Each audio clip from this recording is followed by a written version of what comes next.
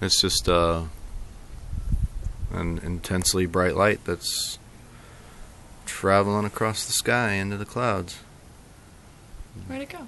behind the clouds.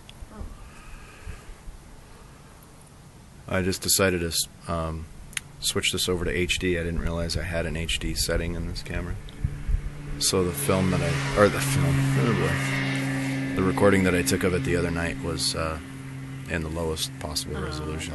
Justin just showed me how to do that. And so I walked outside to check it out, and there was that great big huge light that was traveling through the sky again. That's awesome.